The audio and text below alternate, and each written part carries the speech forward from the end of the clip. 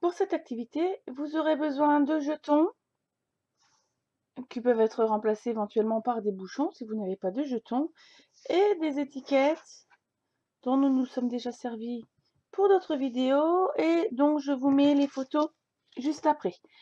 Pour cette vidéo, je vais travailler avec les nombres jusque 6. N'oubliez pas de vous référer vraiment au mail que je vous ai transmis de manière individuelle, puisque cette activité, vous pouvez la faire avec les nombres jusque 3 et les nombres également jusque 10.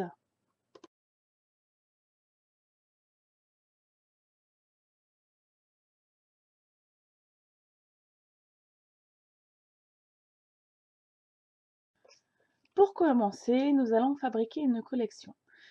Je vais donc mettre mes étiquettes avec les représentations en chiffres dans ma boîte au trésor. Pour fonctionner totalement au hasard et surtout dans le désordre.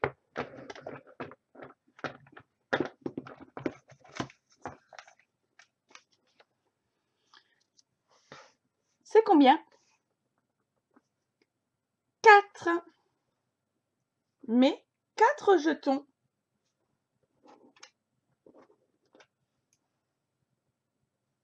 Un, deux, 4. Super.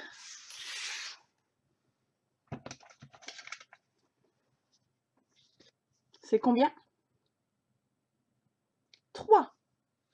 Mais pareil, mais 3 jetons.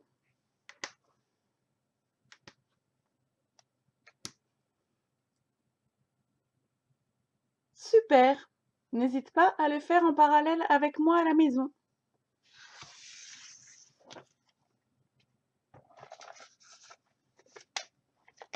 C'est combien?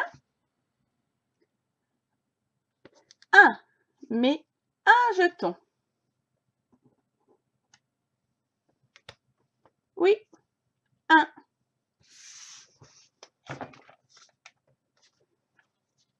C'est combien 2. Mais deux jetons.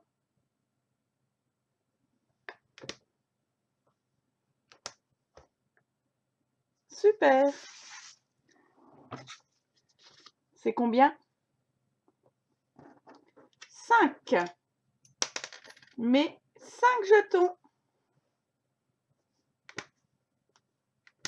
2, 3, 4, 5. La dernière étiquette, c'est combien? 6. Mais 6 jetons. 1, 2, 3, 4, 5, 6. Super Pour varier un petit peu, mais travailler toujours la même compétence, nous allons prendre maintenant les représentations en constellation. Toujours pareil, je les cache dans ma boîte au trésor et je les mélange. Et au lieu des jetons, je vais prendre les bouchons.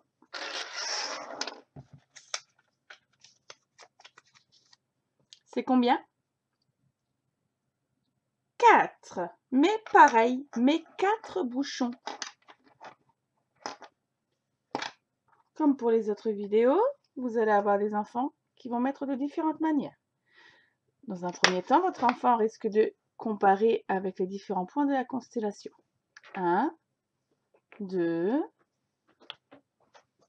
3 et 4. C'est bien s'il y a également plusieurs couleurs de bouchons. Ce qui est bien également, c'est si votre enfant arrive à faire une autre représentation. 1, 2, 3, 4. Super. C'est combien? 3. 1, 2, 3. Donc vous verrez avec les constellations, forcément c'est un petit peu plus facile qu'avant. 1, 2, 3.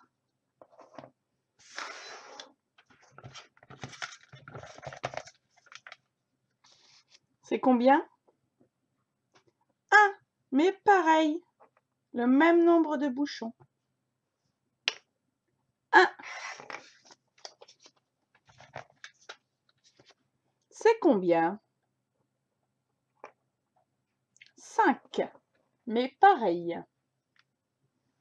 1, 2, 3, 4, 5.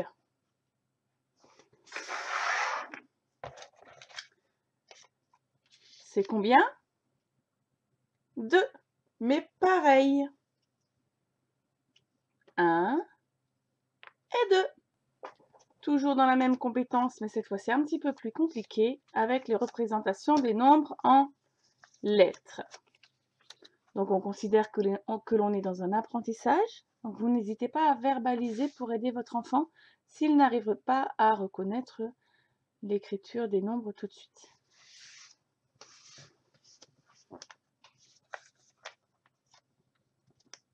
C'est combien? 1. C'est 1. Mais un bouchon. 1. Super. C'est combien? 6. Mais 6 bouchons. 1, 2, 3, 4, 5 et 6.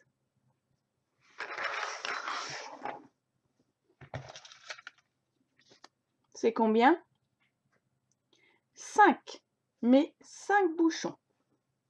1, 2, 3, 4, 5.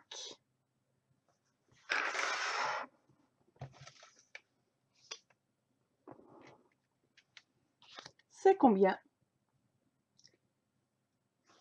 4, mais 4 bouchons. 1, 2, 3, 4.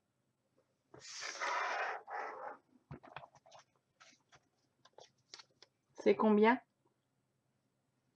2, mais 2 bouchons. 1, 2. Et enfin, c'est combien? 3. Mais 3 bouchons. 1, 2 et 3. Compétence maintenant un peu plus difficile et que nous n'avons pas encore travaillé en vidéo, le fait de compléter une collection. Alors, pour cela, pour que ça soit plus simple dans un premier temps, vous allez utiliser vos cartes avec les nombres, avec la représentation constellation.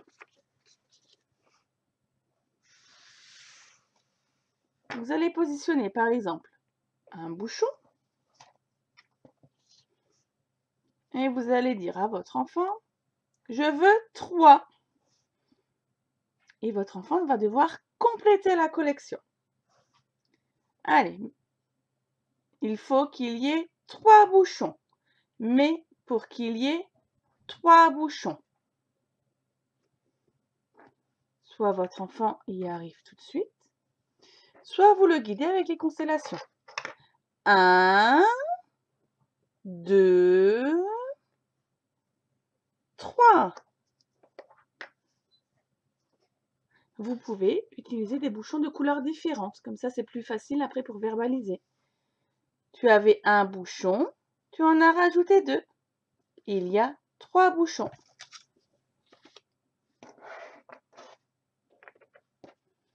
J'ai deux jetons. Et j'en veux combien? Quatre. Ajoute le bon nombre de jetons. Un, deux, trois, quatre. On a ajouté deux jetons. En tout, il y a quatre jetons. Un, deux, trois, quatre. Combien j'ai de de bouchons noirs? Un, deux, trois. Et je veux combien de bouchons? Un, deux, trois, quatre, cinq, six. Ajoute le bon nombre de bouchons pour avoir six bouchons en tout. 1, 2, 3, 4, 5 et 6. Alors, je vous rappelle, cette notion est nouvelle pour beaucoup d'enfants. D'accord? Donc, ça n'est pas grave s'il ne réussit pas. L'école à la maison étant en train de durer, on essaie d'aborder maintenant de nouveaux apprentissages plutôt que des révisions. Mais c'est normal. Pour chaque nouvel apprentissage, il faut le temps que tout cela se mette en place. Et donc, il y a des erreurs au début.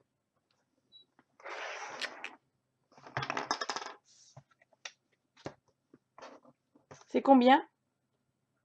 2. Je mets un bouchon. Rajoute le bon nombre de bouchons pour avoir deux bouchons en tout. 1, 2. J'ai rajouté un bouchon. En tout, j'ai deux bouchons. C'est pareil. Pour les enfants pour lesquels ça a été facile éventuellement, vous pouvez continuer cet exercice avec les représentations en chiffres. Je veux quatre jetons. J'en ai mis deux. Rajoute le nombre de bouchons pour avoir quatre bouchons en tout. 1, 2, 3, 4. Si ça a déjà été fatigant pour l'exercice précédent, on passe à la suite. On ne continue pas avec cette représentation-là, ça fera l'objet d'autres vidéos. Vous pouvez aussi, sinon, éventuellement, si vous tenez absolument à persévérer, utiliser cette carte ici. Proposez à votre enfant l'équivalent avec la constellation à côté. Comme ça, il pourra s'en servir d'aide, se réassurer grâce à cette représentation ici. Et lui demander de compléter la collection.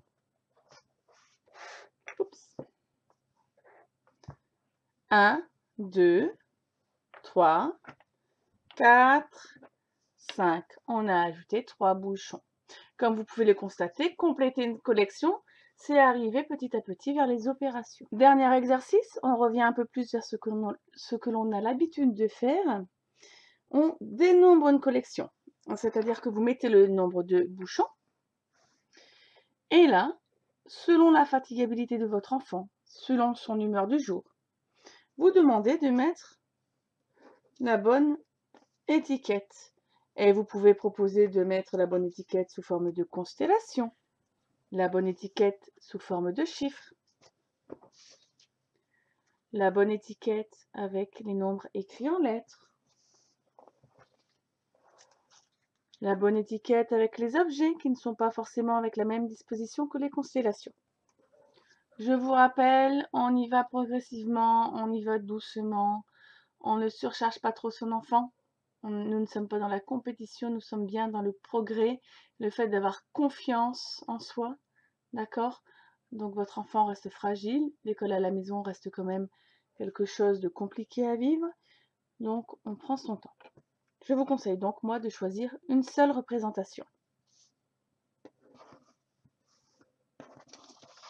Par exemple ici, les nombres écrits de cette manière, puisque votre enfant a l'habitude de les rencontrer, notamment pour les rituels. Vous disposez donc les nombres face à votre enfant. Vous lui réexpliquez bien la consigne, parce que présenter comme ça, ça peut être un peu flou pour lui. Compte le nombre de bouchons. 1, 2, 3. Montre-moi le 3. Oui. Il y a trois bouchons. Compte le nombre de bouchons. 1, 2, 3, 4, 5. Montre-moi le 5. Oui. C'est combien? 5. Oui, c'est pareil.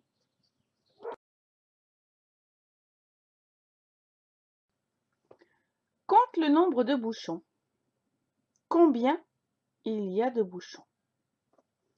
1, 2, 3, 4, 5, 6. Mets la bonne étiquette.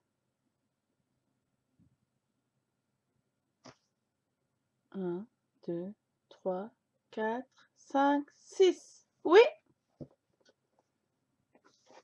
Super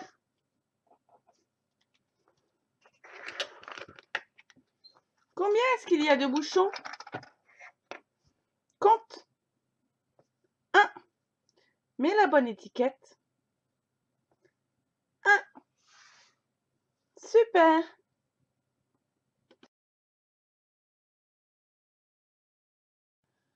Compte le bon nombre de bouchons. 1, 2, 3, 4. Montre-moi la bonne étiquette. Oui. 4. Il y a 4 bouchons.